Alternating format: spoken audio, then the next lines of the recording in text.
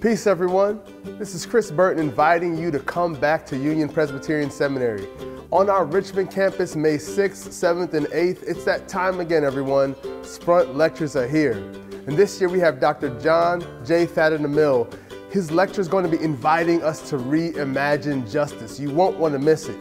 Worship is going to be led by Reverend Dr. M. Craig Barnes, and that's going to be wonderful as well.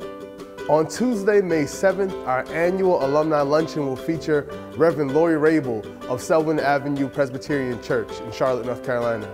Reverend Raible was actually a part of the committee that brought our seminary president, Dr. Jack Lapsley, uh, to the campus, and you will want to stick around for Wednesday, May 8th. We're going to have a symposium before we inaugurate Dr. Jack Lapsley as the seminary's eighth president. It's going to be very exciting, a wonderful time. You won't want to miss it. So make sure right now, right, right now, you go ahead and register for this year's Sprunt Lectures.